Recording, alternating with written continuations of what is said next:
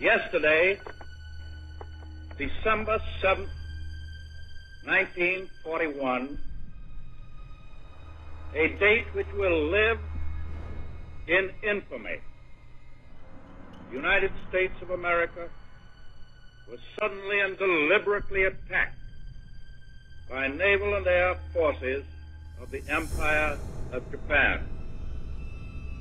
The attack yesterday on the Hawaiian Islands has caused severe damage to American naval and military forces. I regret to tell you that very many American lives have been lost. In addition, American ships have been reported torpedoed on the high seas between San Francisco and Honolulu. Yesterday, Japanese government also launched an attack against Malaya. Last night, Japanese forces attacked Hong Kong. Last night, Japanese forces attacked Guam. Last night, Japanese forces attacked the Philippine Islands.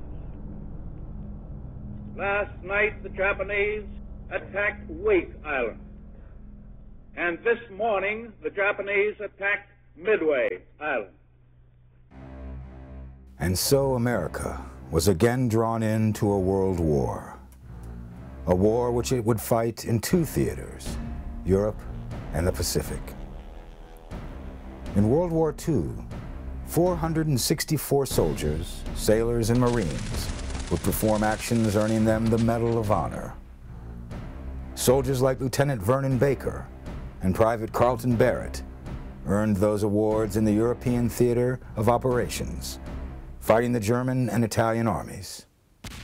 Far away, yet part of the same war, other Americans performed acts of valor above and beyond the call of duty, while facing a different enemy, Imperial Japan. These are the stories of the Medal of Honor.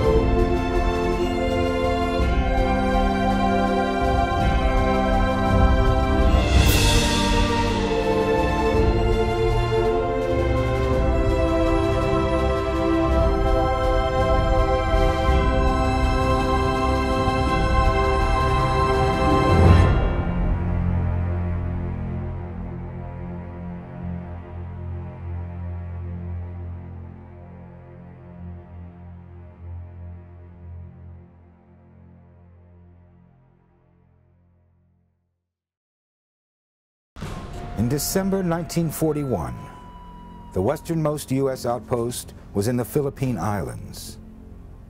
7,000 miles from San Francisco, 5,000 miles from Pearl Harbor, the capital of the Philippines is only 1,800 miles from Tokyo. The U.S. had maintained forces in the Philippines since 1898, including a substantial number of Filipino units. Yet, only Manila Bay had adequate fortifications. In 1941, Douglas MacArthur was working for the Philippine government, organizing the new Philippine Army. With limited resources, the forces were neither as well trained nor as well equipped as he would have liked. At the end of July, President Roosevelt recalled MacArthur to active service in the U.S. Army made him lieutenant general, and named him commander of U.S. Army forces in the Far East. The Philippine forces were incorporated into the U.S. Army, and MacArthur prepared for invasion by Japan. An invasion that no one expected to happen in just a few short months.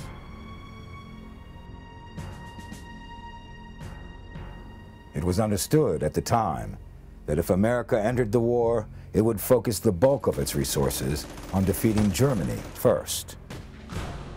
Forces in the Philippines would be focused on the Bataan Peninsula, with the rest of the Philippines reluctantly sacrificed.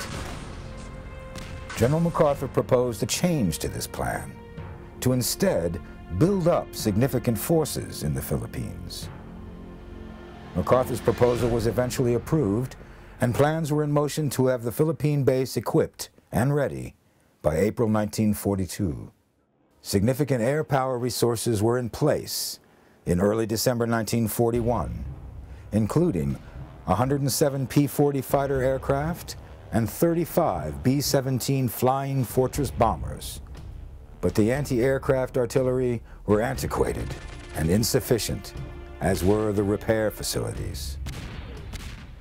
On December 8th, the Imperial Japanese forces struck the airbase on the Philippines. There had been much finger pointing and blame over the years regarding why the planes were on the ground, when the word of the bombing at Pearl Harbor had already spread. But regardless of the reasons, the Japanese were able to destroy over half the Far East Air Force's planes on the first day of the war. With air superiority attained, the Japanese land forces began initial strikes on December 10th and a full-scale invasion on December 22nd. The inadequately trained and poorly equipped Filipino forces were unable to hold the invaders back. MacArthur realized that the defense of the Philippines had failed. He concentrated his forces on the Bataan Peninsula, effectively surrendering the rest of the Philippines. There, they regrouped for a last stand. The retreat to Bataan was a massive effort, but eventually 26,000 civilian refugees and 80,000 troops made it to the base. Unfortunately, there was not enough food to feed that many mouths. MacArthur's troops were forced to defend their shrinking territory on half rations. No help could get through from the U.S. James Cowan, a mechanic with the U.S. Air Corps, wrote later, There was no doubt in my mind that Bataan was to be our last battle. With the Japanese virtually in control of the South Pacific, uh, I could see no way we could receive help. The only thing we could do was to fight as long as possible, slowing up the rampaging Japanese on their drive toward the Dutch East Indies. My life with an anti-aircraft company became one constant whirl of action, setting up the guns to protect bridges or other strategic points as our troops retreated to Bataan. We seemed to move all night and fire at the Jap planes all day. About all we could do was force them to fly higher because of our poor ammunition. Our rations became less and less as the weeks passed. We ate all the horses and mules from the 26th Cavalry. Even General Wainwright's champion jumper was sacrificed. In February 1942, with the Japanese closing in, President Roosevelt ordered MacArthur to escape to Australia. MacArthur at first considered resigning his commission and staying to fight, but his staff talked him out of it. On March 12th, MacArthur and a small group escaped on four PT boats. They were picked up by the U.S. Navy and eventually reached Australia. On arriving in Australia, MacArthur made his famous I shall return speech the President of the United States ordered me to break through the Japanese lines and proceed from Corregidor to Australia for the purpose, as I understand it, of organizing the American offensive against Japan, a primary objective of which is the relief of the Philippines. I came through, and I shall return. It would take years, but General MacArthur would return, and he would recapture the Philippines. He would also receive the Medal of Honor for his defense of the Philippines. In doing so, he became the first son of a Medal of Honor recipient to also be awarded the medal. His father, Arthur MacArthur Jr., was awarded the Medal of Honor for his actions as a first lieutenant in the Civil War. Adjutant of the 24th Wisconsin Infantry, First Lieutenant Arthur MacArthur Jr. was an 18-year-old combat veteran fighting at Missionary Ridge, Tennessee on November 25, 1863. At the height of this terrific battle, Lieutenant MacArthur seized the colors of his regiment at a critical and desperate moment, rushed forward, and planted them on the captured Confederate works at the crest of Missionary Ridge to rally the men of the 24th Wisconsin by shouting, On Wisconsin! He was made a breveted colonel in the Union Army the following year. Only 19 years old at the time, he became nationally recognized as the Boy Colonel. In 1944, America and her allies were on the road to making good on MacArthur's promise. They had already captured the Solomon Islands, the Gilbert Islands, and the Marshall Islands, and they moved to take control of the Mariana Islands. The capture of these islands would put Japan within the range of the new long-range B-29 bomber. 8,000 Marines landed on the island of Saipan on June 15, 1944. The following day, units from the Army's 27th Infantry Division joined the fight. Private Thomas Baker with the 105th Infantry Regiment was in one of those units. On June 19th, Baker and the rest of A Company were moving through mountainous terrain of Saipan when they were held up by small arms and automatic weapons fire coming from a strongly fortified position on a ridge. Private Baker, on his own, took up a bazooka and rushed toward the enemy fortification. Dodging heavy rifle and machine gun fire directed at him, he made it to within 100 yards of the enemy. He blasted the strong point in the enemy emplacement, allowing his company to assault the ridge. A few days later, the company advanced across an open field that was surrounded by obstructions that could conceal enemy forces planning an ambush. Baker volunteered to take a position in the rear to protect the company against any surprise attacks he discovered two heavily fortified enemy positions which the company had passed by. On his own, he attacked and killed all 12 of the enemy soldiers in those emplacements. Moving further along the path taken by Company A, he found and eliminated six more enemy soldiers who had concealed themselves behind the American lines. By July 7th, the Japanese forces had nowhere left to retreat. The Japanese Lieutenant General Yoshitsugu Saito ordered a final suicidal charge by all remaining forces. The perimeter where Baker was on duty was hit on three sides by thousands of Japanese. Baker was seriously wounded early in the attack, but he chose to remain on the line he continued firing into the enemy, sometimes as close as five yards away. When his rifle was empty, he continued to fight, using it as a club. Finally, when his weapon had been battered to uselessness, he was carried about 50 yards to the rear by one of his friends, and then that friend was wounded.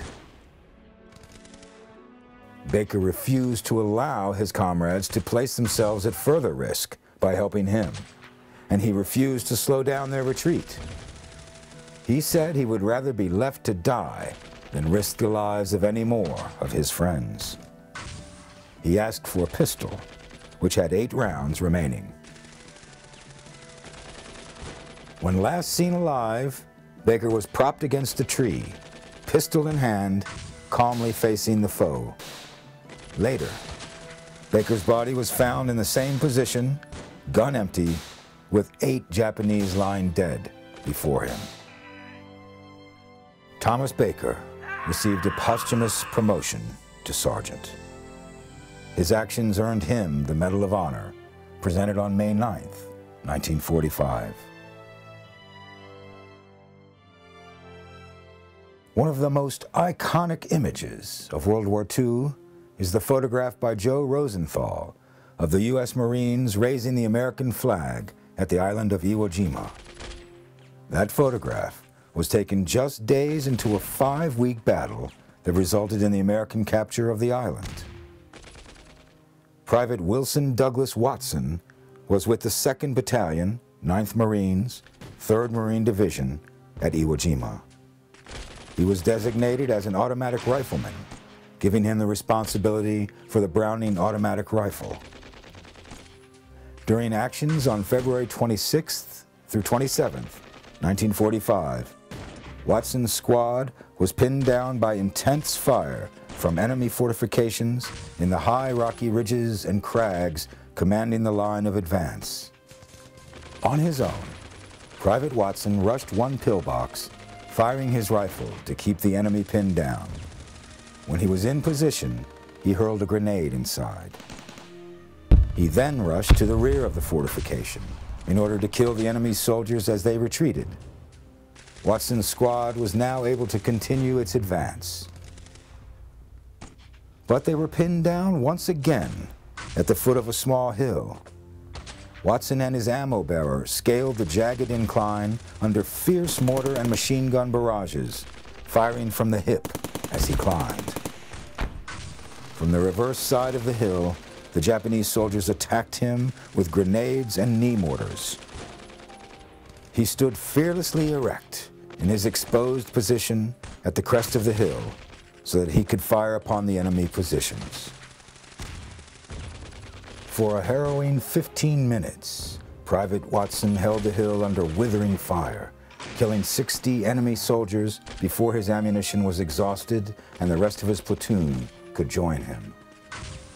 Following that, he took out two more enemy positions, rescuing four Marines who'd been pinned down by their fire. Over the two-day period, Private Watson single-handedly eliminated 90 enemy soldiers becoming known as the One Man Regiment. On October 5th, 1945, President Truman presented him with the Medal of Honor. John R. McKinney, called J.R. by his family, grew up hunting and fishing in Woodcliff, Georgia. He was 20 years old when the Imperial Japanese forces attacked Pearl Harbor. He and his brothers joined the Army soon after. J.R. landed in the 123rd Infantry Regiment of the 33rd Infantry Division. After training in the desert of California and in the jungles of the Hawaiian island of Kauai, they spent six months walking patrol and providing security in New Guinea. Then, in January 1945, they were shipped out to the Philippines. MacArthur was returning. J.R. McKinney's 123rd Regiment landed in Luzon, the largest island in the Philippines, in February 1945. Over the next several months, they and other American units, combined with Filipino troops, succeeded in recapturing the island. Late in the campaign, the 123rd was tasked with security operations at the installations at Dingalan Bay on the eastern side of Luzon.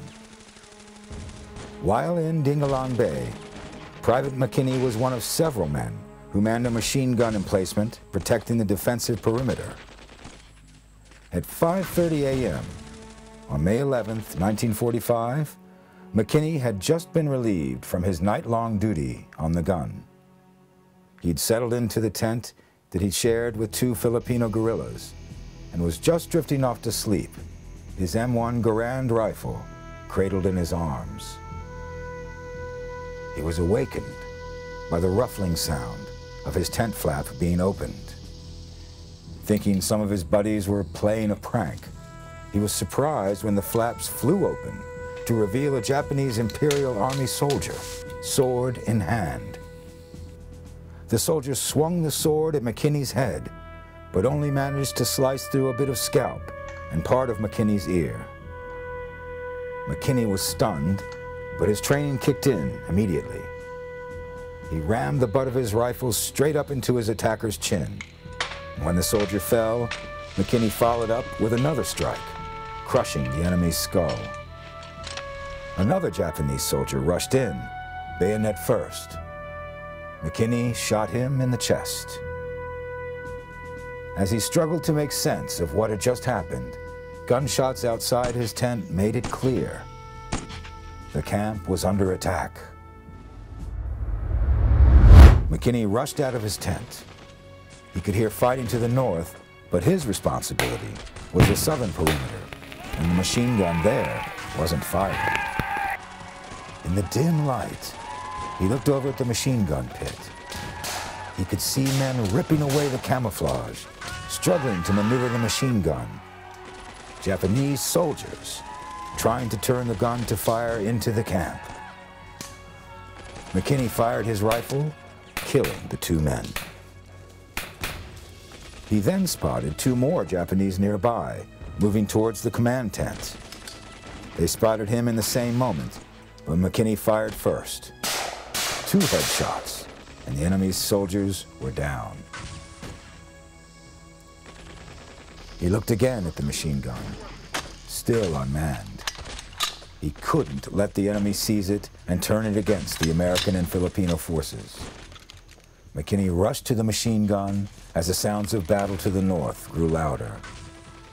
Two American soldiers were down near the machine gun pit. One was seriously wounded, and the other, Private First Class Morris Roberts, was trying to move the wounded man to safety. The Filipino guerrillas who had been with them had vanished, perhaps to join the explosive battle on the northern perimeter. McKinney was still on his own. Private First Class Adolf Barrett was a rifleman assigned to help protect mortars located at the rear of the machine gun emplacement. He reported what he saw. McKinney started dragging the gun to the rear so the attackers couldn't turn it on us. One of the gunners had been shot and the other was trying to evacuate him. I saw about 10 Japs armed with rifles, bayonets, and long pointed poles rush to position, but I was afraid to shoot into the group for fear of hitting one of my buddies. Then I was confronted by the infiltrating Japs trying to get at our mortars. Soon, I heard shrieks and screams and moans of the enemy coming from McKinney's direction. Ten Imperial Japanese soldiers swarmed toward, then into the machine gun pit. Private Roberts later described what he saw while he tried to aid his wounded comrade. McKinney fired a short burst, killing the first two attackers. Then the place seemed to swarm with Japs, shooting one, bashing another with his rifle butt, kicking another, then dragging at the machine gun.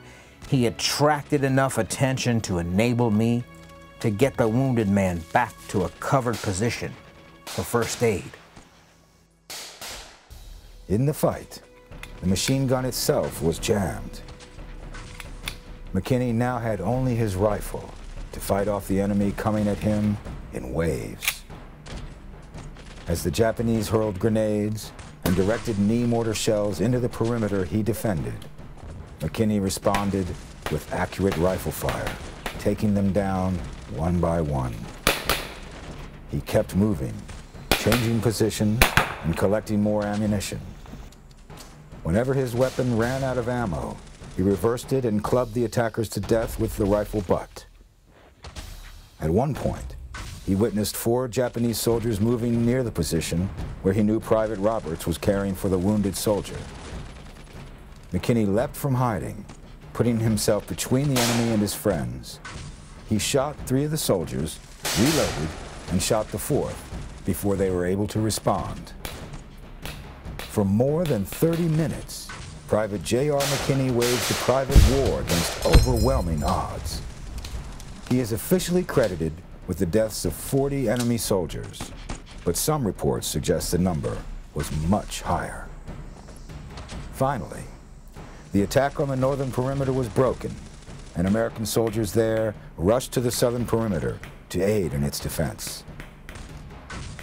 When they arrived, they found a beach covered with the bodies of the enemy. Technical Sergeant Alfred Johnson described the scene. We found McKinney in a firing position at his machine gun, bleeding from his left ear and breathing hard. He assured us he was all right.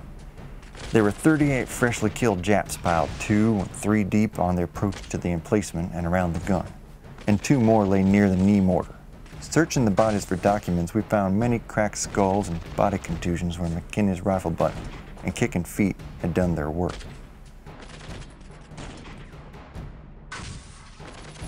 For his actions that day, J.R. McKinney was promoted to sergeant, and on January 23, 1946, he was presented the Medal of Honor in a White House ceremony. As he placed the medal around Sergeant McKinney's neck, President Truman remarked, There is no greater honor in the world. To tell you the truth, I'd rather have earned one of these than be president. Medal of Honor recipients like Thomas Baker, Wilson Watson, and John McKinney earned their awards by making bold assaults on the enemy at tremendous personal risk.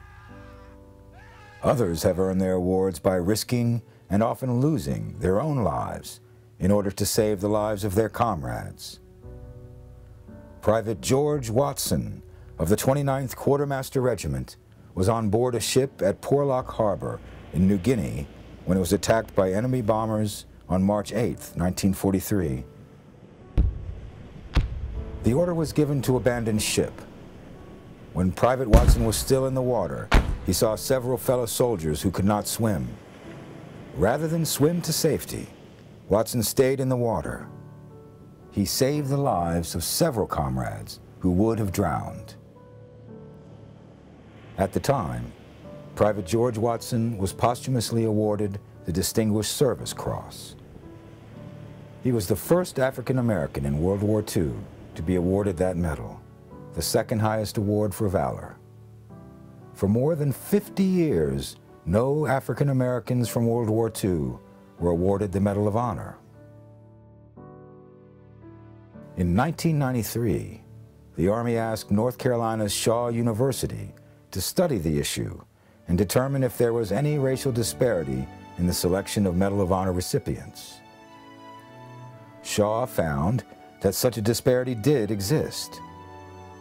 They identified 10 soldiers who'd received the Distinguished Service Cross, the second highest award for valor, and recommended that they be considered for an upgrade to Medal of Honor. The Army reviewed the 10 cases, and seven of the soldiers were determined to have earned the nation's highest award for valor. Because the statutory time limit for presentation had passed, special legislation was required to allow the president to present the medals. And on January 13, 1997, President Bill Clinton presented the seven awards. One of the seven men who finally received the recognition earned over 50 years earlier was Private George Watson. World War II brought a new level of attention to the Medal of Honor. Many recipients came back to the U.S. during the war to promote war bonds, and in the process, they were promoted as celebrities. As a result, the Medal of Honor took on a new significance in the society at large. The new recipients, particularly the survivors, became heroes to a nation that was coming out of decades of depression and war, a nation that was looking for heroes. Some recipients became the subjects of books and movies. The most famous, of course, was Audie Murphy. A year after World War II, in 1946, the Medal of Honor Society was created. Its membership is limited to those who have received the nation's highest award for valor in combat. Its purpose is to promote the ideals embodied in the medal. In 1958, President Eisenhower signed legislation chartering the organization now named the Congressional Medal of Honor Society. The society would work to promote patriotism, protect its members from exploitation, and assist Medal of Honor recipients, their families, and their widows.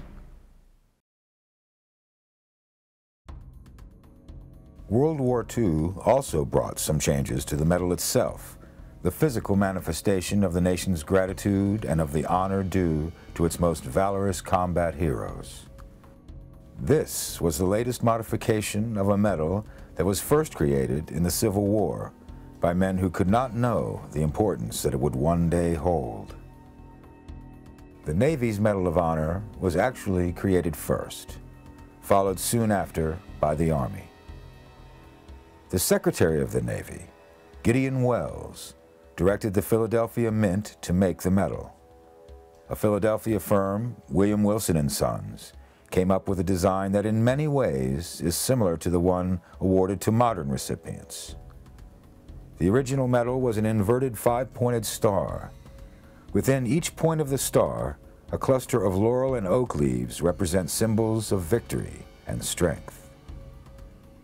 In the center of the star, Minerva, Roman goddess of battle wisdom, banishes a man representing discord. Minerva and Discord are surrounded by 34 stars, one for each state, including those in rebellion. In this simple design, the wisdom and valor of the Union's heroic soldiers would banish the discord and strife that was tearing the young nation apart.